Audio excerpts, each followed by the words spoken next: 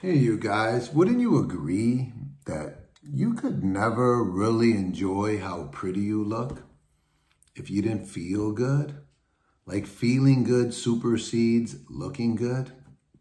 I mean, the cool thing is, is if you feel good, you don't need to look good because you already feel good. And that's why everybody's trying to look good.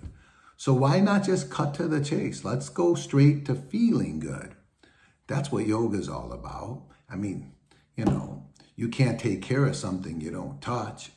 And if you don't take care of it, how could it be well? And that's why in yoga you see all these creative movements. They're just opportunities to access ranges of motion and body parts so you can care for it.